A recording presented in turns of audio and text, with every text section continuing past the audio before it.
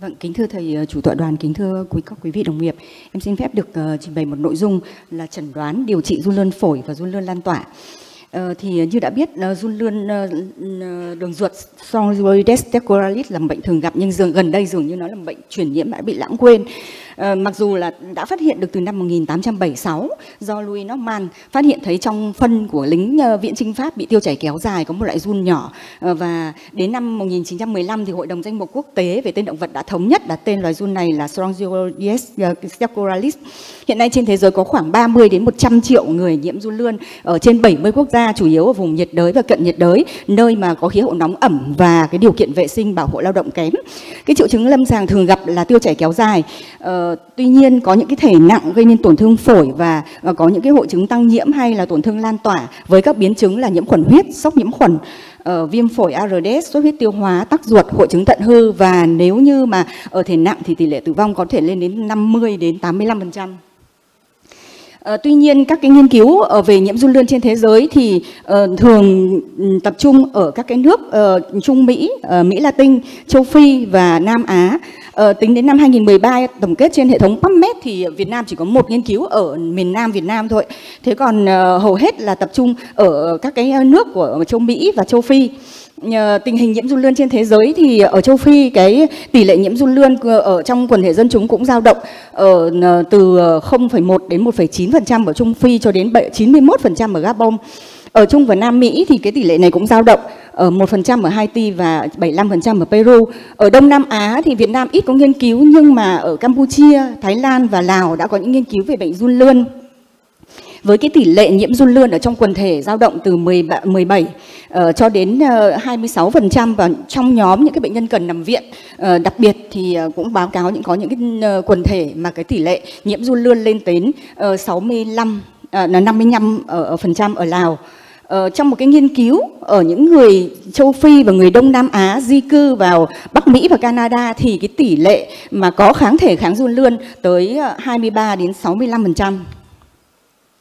Thế còn nhiễm run lươn ở Việt Nam thì chưa có nghiên cứu ờ, cụ thể. Tuy nhiên Galia thì năm 1940 thì cho rằng cái tỷ lệ nhiễm run lươn ở Việt Nam dao động khoảng 0,2 đến 2,5% dân số. Ờ, một cái nghiên cứu của Trần Phù Mạnh Siêu thì ờ, ở những cái bệnh nhân mà có hội chứng dạ dày tá tràng ở nhập viện ở khoa nội tiêu hóa của bệnh viện Trưng Vương và bệnh viện nhiệt đới thành phố Hồ Chí Minh thì tỷ lệ nhiễm run lươn là 26 à, 24,6%. Còn Lê Đức Vinh năm 2018 nghiên cứu trong cộng đồng của ờ, tỉnh Long An thì ờ, cái tỷ lệ nhiễm run lươn trong quần thể dân chúng là từ 2,1 cho đến 12,4% tùy từng xã. Uh, một số em xin uh, trình bày một số cái ca lâm sàng uh, do run lươn phổi được đăng trên, uh, trên tạp chí Clinical Pulmonary uh, Medicine. Ca lâm sàng thứ nhất là một bệnh nhân nữ người Iran được chẩn đoán là bệnh nền là Pemphigus vulgaris và được điều trị prednisolone 45 mg một ngày à, trong 2 năm. Ờ, hai tháng nay thì bệnh nhân bắt đầu xuất hiện xuất hiện ho kéo dài và phải nhập viện bởi vì khó thở. Ờ, trên phim chụp CT có tổn thương kính mờ, tràn dịch màng phổi hai bên, có tổn thương viêm phổi hoại tử. Bệnh nhân này đã được soi phế quản và cái dịch soi phế quản thì có ấu trùng run lươn. Đồng thời người ta lấy phân làm xét nghiệm thì cũng có rất nhiều ấu trùng run lươn ở trong phân. Bệnh nhân này đã được điều trị ivermectin và albendazole và kết hợp với kháng sinh. Sau 2 tuần điều trị thì bệnh nhân ổn định và ra viện. Một cái ca lâm sàng thứ hai là bệnh nhân HIV Bệnh nhân nữ 37 tuổi người Guatemala uh, ờ, bị bệnh 3 tháng nay nhập viện bởi vì khó thở, ho khan, kèm theo có đau bụng, tiêu chảy và gầy sút cân. À, lúc đầu bệnh nhân được chẩn đoán là viêm phổi PCP, sau đó một đợt thứ hai thì được chẩn đoán là tổn thương phổi kẽ chưa rõ nguyên nhân. À, tế bào CD4 là 17 và tải lượng virus HIV là 100.000 trong một uh, copy trong mm khối. Bệnh nhân nhập viện lần này vì biểu hiện là sốt, khó thở và có phổi có gian nổ hay đáy. Uh, kèm theo có chướng bụng vùng thượng vị và đau hạ sườn phải. Xét nghiệm hemoglobin chỉ có 64 gram trên lít và bạch cầu là 6 gigalit, bạch cầu ái toan là không có. Ờ, đồng thời vì có chướng bụng thì bệnh nhân được siêu âm bụng thì có giãn ống mật chủ, ống mật chủ giãn 10 mm. Bệnh nhân được soi mật tụy ngược dòng thì uh, chỉ có giãn ống mật chủ nhưng không có sỏi. Được điều trị như viêm phổi PCP bằng uh, Cotrim và prednisolone. Sau 6 ngày thì ờ, bệnh nhân xuất hiện suy hô hấp phải đặt nội khí quản thở máy. Bệnh nhân này được soi phế quản thì uh, dịch rửa phế quản có rất nhiều ấu trùng run lươn và cái soi đường mật thì cái dịch đường mật này cũng rất nhiều ấu trùng run lươn. Bệnh nhân được điều trị hai đợt bằng ivermectin, tuy nhiên bệnh nhân tử vong sau vài tuần uh, điều trị bởi vì sốc nhiễm khuẩn và có suy đa cơ quan. Một trường hợp nữa là bệnh nhân nam 55 tuổi tiền sử tiền sử là uh, không có gì đặc biệt làm nghề uh, làm ruộng người Trung Quốc. Bệnh nhân được chẩn đoán hội chứng thận hư 2 tháng trước và được duy trì prednisolone 25 mg một ngày. Ờ, hai tuần trước khi vào ba tuần trước khi vào viện thì bệnh nhân xuất hiện tiêu chảy và một tuần trước thì bắt đầu có triệu chứng ho, khạc đờm và khó thở. Hai ngày trước khi vào viện thì bệnh nhân đau bụng, nôn và sốt và được nhập viện ngay vào ICU với chẩn đoán là sốc nhiễm khuẩn từ đường tiêu hóa kèm theo có suy hô hấp. Huyết áp lúc vào là 78 trên 35. Bệnh nhân này đã được xử trí thông khí nhân tạo hồi sức dịch uh, vận mạch và sử dụng kháng sinh là piperacillin tazobactam. Trên CT ngực thì có tổn thương thâm nhiễm kính M2 phổi, CD4 bình thường, HIV âm tính, CRP là 118. Bạch cầu lúc là ờ, lúc vào viện là 12,4 gigalit, không có bạch cầu ái toan. Uh, hemoglobin và tiểu cầu bình thường. Tuy nhiên sau 4 ngày điều trị bạch cầu giảm xuống chỉ còn 1,4 gigalit, hemoglobin còn 43, tiểu cầu là 6, CRP tăng lên 229 và CT ngực thâm nhiễm hai phổi xấu hơn, có hôn mê và bầm tím trên da. Đây là phim CT ngực từ lúc vào viện và 4 ngày sau khi điều trị, tổn thương tiến triển rất là nhanh. Ờ, bệnh nhân này có uh, soi phế quản, có xuất huyết phế nang lan tỏa nặng và có ấu trùng run lươn ở trong dịch rửa phế quản. Uh, đồng thời xét nghiệm phân thì bệnh nhân có một cái uh, ấu trùng run lươn ở trong phân và hình thứ hai là thứ hai là run lươn ở trong dịch rửa phế quản và khi mà nhuộm gram soi thì cũng ờ, thấy ờ, có ấu trùng run lươn Bệnh nhân này được điều trị bằng albendazole ngay từ ngày thứ hai nhưng mà tiếp tục suy hô hấp, giảm oxy và được thở máy vận mạch rồi ECMO, kháng sinh phổ rộng, hydrocortisone nhưng mà ngừng tim sau điều trị một tuần.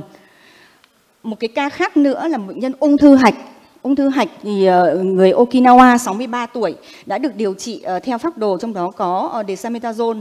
Ờ, sau 7 tuần điều trị thì bệnh nhân xuất hiện đau bụng, nôn và bụng trướng kèm theo có tràn dịch màng phổi, xét nghiệm có giảm albumin, giảm tiểu cầu, giảm kali và lúc đầu vào thì chẩn đoán là tắc ruột, bệnh nhân đã được dẫn lưu dạ dày. Đây là hình ảnh X quang khi mà bệnh nhân mới vào viện và uh, có uh, tổn thương uh, tràn dịch màng phổi ở hai đáy cộng với cả giãn các quai ruột và có mức nước hơi. Ờ, nhưng mà sau đó thì uh, 5 ngày điều trị thì bệnh nhân xuất hiện khó thở, giảm ý thức và tụt huyết áp. Trên phim ờ, X-quang và CT thì có cái tổn thương ờ, thâm nhiễm dày vách liên thùy ở hai bên. Đây là hình ảnh soi phế quản và có dịch rửa phế quản màu hồng. Ờ, có chảy máu lan tỏa. Cấy máu, bệnh nhân này có cả hai loại vi khuẩn Streptococcus gordoni và Klebsiella pneumoniae. Uh, soi dịch rửa phế quản thì thấy rất nhiều ấu trùng run lươn kèm theo là soi phân thì cũng có ở ấu trùng run lươn. Đây là tổn thương X quang tiến triển ở khi, ở trên ICU sau các ngày nằm viện ngày thứ nhất, ngày thứ 9 và ngày thứ 16 thì có ấu trùng run lươn bệnh nhân này đã được điều trị bằng ivermectin 15 ngày thì hết được ấu trùng run lươn trong đờm. Phối hợp với các hai loại kháng sinh là meropenem và vancomycin trong 22 ngày thì bệnh nhân được ra viện. Ờ, còn liên quan đến uh, tổn thương uh, nhiễm run lươn lan tỏa, một trường hợp bệnh nhân nữ 40 tuổi vào viện vì nhịp tim nhanh, khó thở khi gắng sức kèm theo có tiêu chảy. Siêu âm tim thì có huyết khối ở 2 phần 3 đỉnh thất trái, áp lực đồ đầy thất trái tăng rất cao và van hai lá dày, soi phân thì có ấu trùng run lươn. Và bệnh nhân này được chẩn đoán là sơ nội tâm mạc thứ phát, tăng bạch cầu ái toan gây ra bởi run lươn. Ờ, đã được xử trí là cắt bỏ mô sơ và huyết khối thất trái, thay van hai lá. Bệnh nhân có van hai lá bất động do phản ứng và huyết khối mô sơ phát triển mạnh cả tổ chức dưới van. Và sau khi phẫu thuật thay van thì ép mà đã cải thiện từ 45 lên đến 62% sau mổ. Về giải phẫu bệnh thì có sơ hóa huyết khối giống như viêm nội tâm mạc Loeffler đặc trưng bởi là tổn thương phá hủy vùng đỉnh thất và bệnh cơ tim hạn chế. Đây là hình ảnh siêu âm tim ờ, của bệnh nhân có huyết khối thất trái kèm theo có trên phim X quang ờ, uh, CT thì có cái huyết khối ở thất trái và đây là uh, cái chỗ phẫu thuật của bệnh nhân. Uh, một cái trường hợp khác là một bệnh nhân nam 63 tuổi người Đài Loan uh, xuất hiện mệt khó thở, mệt mỏi chán ăn và siêu âm có tràn dịch màng ngoài tim mức độ vừa. Ờ, trên uh, sau khi đó thì bệnh nhân được dẫn lưu dịch màng ngoài tim đó là dịch máu. Và dịch máu thì uh, bệnh nhân uh, được nhuộm soi thì thấy có ấu trùng run lươn và uh, bệnh nhân này soi phân cũng có uh, ấu trùng run lươn ở trong phân.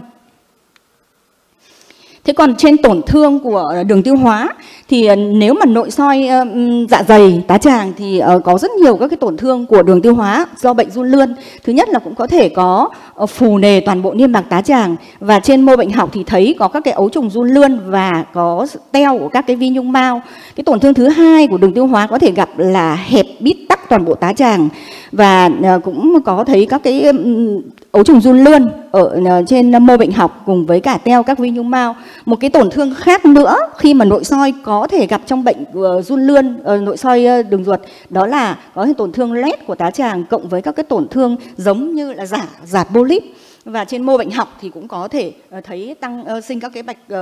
tăng sinh mô hạt phá hủy hoàn toàn nhung mao và có khá nhiều ấu trùng run lươn ở, ở trong mạch bạch huyết và tổ chức hạt còn nghiên cứu ờ, run lươn ở Việt Nam thì sao? Ờ, những năm gần đây thì bệnh do run lươn ờ, cũng bắt đầu được để ý hơn đối với các bác sĩ lâm sàng ở Việt Nam. Nghiên cứu của Lê Đức Vinh năm 2018 ở trong cộng đồng ở xã Đức Hòa, Long An ở 1.190 người dân thì các cái triệu chứng thường gặp của bệnh run lươn đó là đau bụng, mày đay và tiêu chảy. Ờ, Bạch cầu ái toan không tăng trong 40% các trường hợp. Một cái nghiên cứu của Ngô Thị Phương Nhung ở bệnh viện Bạch Mai trên 45 bệnh nhân thì cái lứa tuổi trung bình của các nhóm bệnh nhân nhiễm run lươn nằm viện là khoảng 57 ờ, cộng trừ 16. Ờ, các triệu chứng thường gặp là đầy trứng bụng, đau bụng, rối loạn tiêu hóa. Tuy nhiên là cái thể nặng thì có thể xuất hiện tiêu chảy, xuất huyết tiêu hóa và khó thở gặp ở 60% các trường hợp.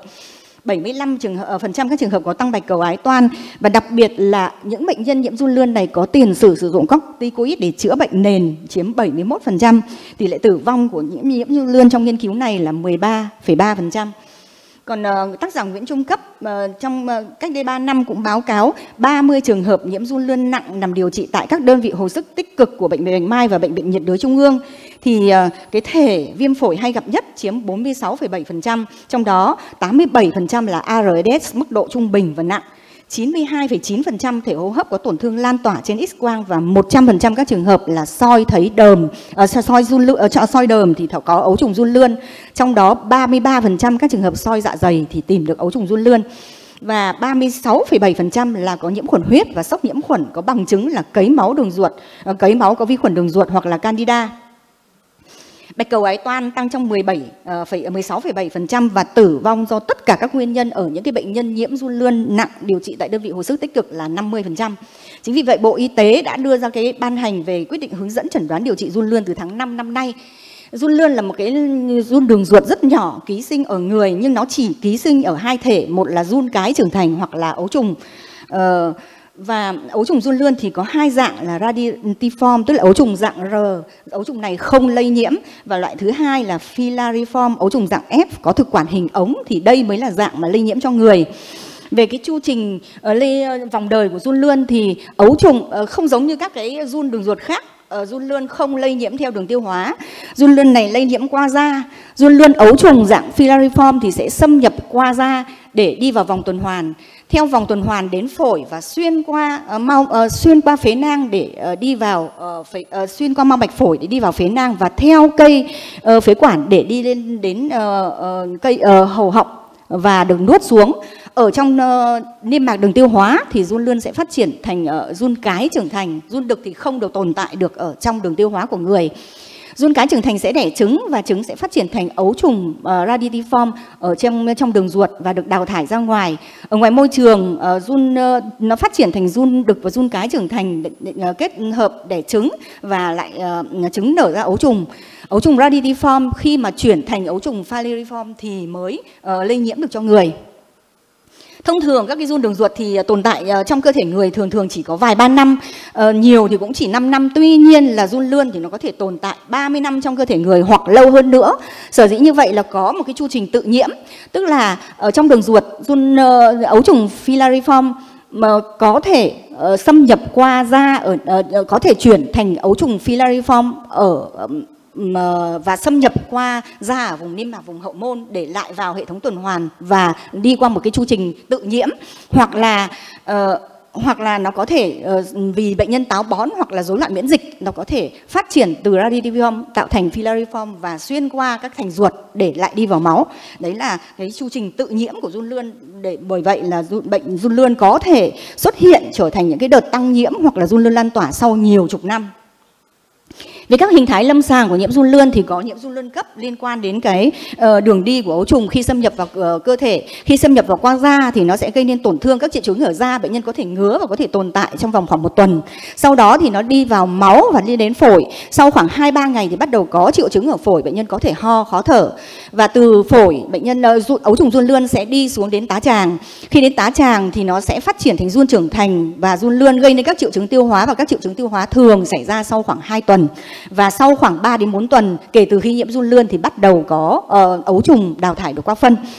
Uh, cái thể uh, run uh, cái hình thái lâm sàng thứ hai là nhiễm run lươn mạng tính. Nhiễm run lươn mạng tính thì uh, thường là không có triệu chứng, tuy nhiên là 75% các trường hợp thì có thể có bạo tăng bạch cầu ái toan hoặc là tăng IgE trong máu. Và các triệu chứng có thể gặp là nôn, tiêu chảy, táo bón,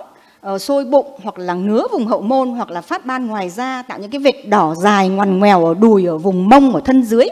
Và hiếm gặp thì có thể có triệu chứng của viêm khớp phản ứng hoặc là hen tái phát hoặc là các hội chứng thận hư hoặc là uh, tắc tá tràng hoặc xuất huyết tiêu hóa. Hình thái lâm sàng thứ ba là hình thái uh, hội, cái hội chứng tăng nhiễm hyperinfection uh, uh, syndrome. Đấy là do tình trạng uh, tự nhiễm và uh, các cái thay đổi uh, miễn dịch của cơ thể người. Thế thì nói đến cái hội chứng tăng nhiễm tức là tăng các cái triệu chứng lâm sàng. Uh, tuy nhiên là run lươn vẫn đi theo các cái chu trình của nó, tức là không có cái run lươn đi ra ngoài cái vòng đời của nó. Ờ, thì các cái triệu chứng uh, thường gặp thì có thể là bệnh nhân mệt, yếu cơ, đau cơ toàn thân, có thể sốt và gai rét, đó là do run lươn khi mà đi xuyên qua các cái cơ quan ờ, các cái cơ quan trong cơ thể nó có thể kéo theo các cái vi khuẩn đi cùng với các cái run lươn đó và gây nên các triệu chứng nhiễm khuẩn huyết. Các cái triệu chứng của hệ tiêu hóa thì thường gặp có thể là uh, đau bụng do co thắt hoặc trướng bụng, có thể tiêu chảy, táo bón, chán ăn, sụt cân và đặc biệt có thể gặp là chảy máu dạ dày ruột do run lươn phát triển toàn bộ niêm mạc tá tràng, làm teo các vi nhung mao và xuất huyết tiêu hóa toàn bộ niêm mạc tá tràng. Thì những trường hợp đấy rất khó điều trị và cái tỷ lệ tử vong rất là cao, có thể gây tắc ruột, có thể có cái triệu chứng của bệnh ruột mất albumin như là phù cổ trướng Tổn thương viêm thì có thể viêm toàn bộ niêm mạc đường tiêu hóa từ thực quản cho đến uh, đại trực tràng hoặc là loét niêm mạc cũng từ uh, toàn bộ đường tiêu hóa cũng có thể bị tổn thương. Khi mà soi phân thì có thể thấy ấu trùng run lươn dạng raditiform hoặc là firaviform có thể thấy run trưởng thành. Ờ, các cái triệu chứng hô hấp cũng thường gặp bệnh nhân có các triệu chứng ho khò khè cảm giác nghẹt thở khàn giọng có thể ho đau ngực và ho ra máu và ho ra máu có thể đến lượng lớn kèm theo là có thể suy hấp khó thở suy hô hấp uh, soi đờm thì sẽ thấy ấu trùng uh, run lươn có thể ấu trùng dạng filariform hoặc là radiform. Uh, về tổn thương x quang thì là tổn thương thường là tổn thương kẽ có thể tổn thương từng vùng hoặc là thâm nhiễm ổ hoặc là tổn thương cả hai bên phổi. Giải phẫu bệnh có thể thấy là xuất huyết phế nang sung huyết xuất huyết đốm ở niêm mạc phế quản khí quản thanh quản.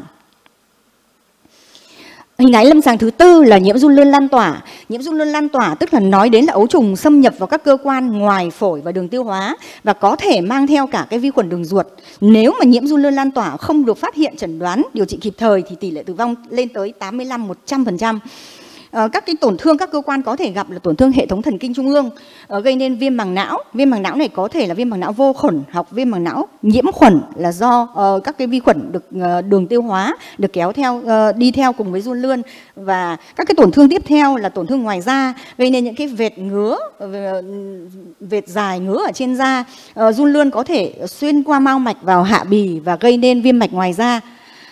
Ờ, các cái cơ quan khác đều có thể bị tổn thương như là uh, tổn thương ruột non, tuôn tổn thương uh, da, hạch mạc treo, ruột thừa, túi mật, gan, tụy, uh, cơ hoành, tim, thận, buồng trứng, não, tất cả các cơ quan trong cơ thể thì run lân đều có thể uh, xuyên qua và uh, cư trú lại ở cái các cơ quan uh, cơ quan trong cơ thể.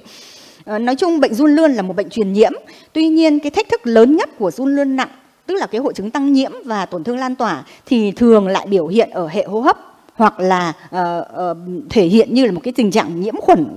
nhiễm khuẩn uh, nặng do các vi khuẩn từ đường tiêu hóa. Và thể nặng thì thường được điều trị ở các cái đơn vị hô hấp hoặc là đơn vị hồi sức tích cực thì nguy cơ nào mà làm xuất hiện cái hội chứng tăng nhiễm và run lươn lan, nhiễm run lươn lan tỏa? Thì thứ nhất là corticoid người ta đã ghi nhận là có sự liên quan đặc biệt mạnh giữa những người sử dụng corticoid. Và ờ, các y văn đã từng báo cáo chỉ cần dùng 20 mg prednisolone một ngày trong 6 ngày đã thấy xuất hiện hội chứng tăng nhiễm và run lươn lan tỏa. Sử dụng các thuốc ức chế miễn dịch hoặc là những bệnh nhân mà sau khi ghép tặng đặc, ghép tủy xương hoặc là cấy ghép các cái tế bào gốc tạo máu, tế bào ác tính hoặc là một số các cái tình trạng suy giảm miễn dịch hoặc là các bệnh lý gây giảm gamma globulin máu như là bệnh nhân bị hội chứng thận hư hoặc đau tủy xương, đặc biệt là có thể có nhiễm virus gây uh, leucemia lymphoma tế bào T tiếp 1 hoặc là nhiễm HIV các cái nghiên cứu cho thấy là tỷ lệ ờ, nguy cơ nhiễm run lươn ở những bệnh nhân nhiễm HIV cao gấp 2 lần và những người bệnh nhân nghiện rượu thì tăng gấp 6 lần. Đây là một số các cái ờ, ca lâm ờ, tỷ lệ nhiễm run lươn ở những cái bệnh lý thường gặp cần phải sử dụng corticoid. Thì hen ờ, COPD hoặc là sơ phổi thì cái tỷ lệ nhiễm run lươn trong cái nhóm nghiên cứu này là 18,3% uh, leucemia hoặc lymphoma hoặc là lupus ban đỏ hệ thống hoặc là uh, viêm khớp dạng thấp, bệnh ruột viêm sarcoidosis uh, hoặc là cái ghép thủy xương vân vân thì ta thấy đều thấy là cái tỷ lệ nhiễm run lươn ở trong các quần thể uh, nghiên cứu này nó có thể dao động từ 1% cho đến uh, 15%, 18%. Một cái phân tích trên ờ, các cái nghiên cứu trên PubMed trong hơn 20 năm với hơn 800 ờ, bài báo thì ghi nhận rằng ờ, liên quan đến cái hội chứng tăng nhiễm và run lươn lan tỏa thì 67% các trường hợp là có dùng corticoid và 100% chẩn đoán xác định là do soi tìm thấy ấu trùng run lươn. Tỷ lệ tử vong rất là cao ở hai nhóm run lươn ờ, lan tỏa và hội chứng tăng nhiễm ờ, lên đến 60 đến ờ, 68%. Cái việc điều trị nhiễm run lươn lan tỏa và hội chứng tăng nhiễm có thể sử dụng albendazole tuy nhiên là uh, cái tử vong ở những cái bệnh nhân mà uh, sử dụng albendazole là lên tới 73%, ivermectin là 47% và thiabendazole là 51% trong cái nghiên cứu được đăng trên cái tạp chí uh, Infectious Disease năm 2012. Về mặt chẩn đoán, chẩn đoán nhiễm run lươn thì có thể xét nghiệm phân, uh, soi phân tìm ký sinh trùng ở run lươn, uh, cái độ nhạy 75% và nếu như làm nhiều lần thì có thể lên đến 92% sau 3 lần xét nghiệm. Uh, thứ hai nữa là có thể sử dụng test huyết thanh để uh, phát hiện kháng thể uh, IgG với kháng nguyên của ấu trùng uh, filariform và cái kỹ thuật thứ ba là kỹ thuật sinh học phân tử. Nói chung chẩn đoán hội chứng run lươn tăng nhiễm và run lươn lan tỏa không khó vì có một lượng lớn ấu trùng run lươn ở trong các cái dịch trong đờm, dịch phế quản, phân, dịch dạ dày. Chỉ có vấn đề là mình có nghĩ đến để mà cho xét nghiệm hay không. Ờ, đây là một cái kỹ thuật ờ, đây là một cái ờ, bảng nếu lên nếu đăng bạch cầu ờ, ái toan trong nhiễm run lươn đường ruột có thể chiếm 60 đến 90%. Tuy nhiên trong hội chứng tăng nhiễm thì tăng bạch cầu ái toan không nhiều, dưới 20%.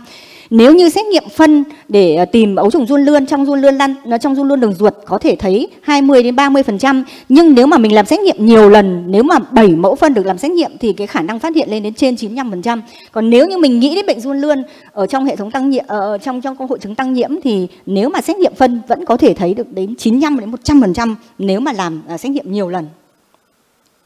Về mặt điều trị, uh, run lươn không biến chứng thì người ta được uh, chỉ định điều trị uh, ivermectin 200 mg trong kia quên nặng một ngày uh, trong hai ngày có thể sử dụng các thuốc thay thế là albendazole, uh, thiabendazole. Còn trong cái thể tăng nhiễm hoặc run lươn lan tỏa thì uh, có nếu có thể thì cần phải giảm các cái thuốc ức chế miễn dịch. Uh, sử dụng thuốc được khuyến cáo là ivermectin 200 mg kg cân nặng một ngày kéo dài 2 tuần sau khi soi hết ấu trùng run lươn ở trong phân hoặc là trong đờm thì phải kéo dài thêm 2 tuần nữa. Sở dĩ có 2 tuần này là để đề phòng cắt cái chu trình uh, tự nhiễm của run lươn. Đối với trường hợp bệnh nhân kém hấp thu và không dung nạp thì có thể sử dụng đường dưới da hoặc là thụt trực tràng ivermectin tuy nhiên vẫn chưa được FDA uh, ờ, phê duyệt. Tóm lại, nhiễm run lươn có thể có hình thái đa dạng, ờ, lâm sàng rất đa dạng từ không triệu chứng cho đến rối loạn tiêu hóa mãn tính hoặc là hội chứng uh, tăng nhiễm hay là nhiễm run lươn lan tỏa. Cái tỷ lệ tử vong cao nếu như không được chẩn đoán điều trị kịp thời. Vì vậy các thầy thuốc lâm sàng được khuyến cáo cần phải cảnh giác và sàng lọc thích hợp tìm mẫu trùng run lươn có thể soi hoặc là huyết thanh chẩn đoán ờ, là cần thiết ở những cái bệnh nhân mà có yếu tố nguy cơ như là bệnh nhân có dùng corticoid hoặc là dùng thuốc ức chế miễn dịch hoặc là ghép tạng để phát hiện và điều trị sớm làm giảm bệnh nặng và tử vong. Cái thuốc được khuyến cáo để điều trị nhiễm run lươn là ivermectin với liều 200 mg trên kg cân nặng một ngày. À, xin cảm ơn ờ, các quý vị đã chú ý lắng nghe.